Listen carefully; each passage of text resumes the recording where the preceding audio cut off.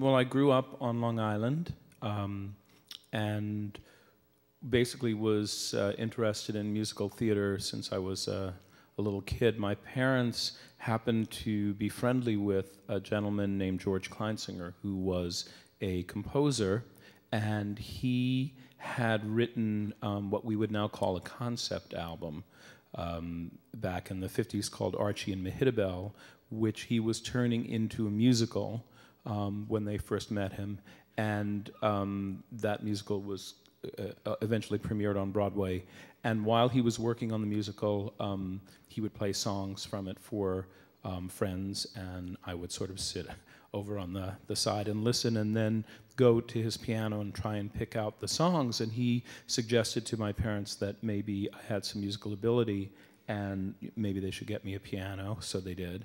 And uh, a couple of years later, they took me to see the show, which was called Shinbone Alley. Um, it's a show about uh, a cockroach uh, named Archie who falls in love with an alley cat named Mehitabel, and many of the um, cast members were portraying cats. So it was a little bit ahead of its time. And didn't actually succeed, but that's when, um, you should pardon the pun, I sort of got the theater bug.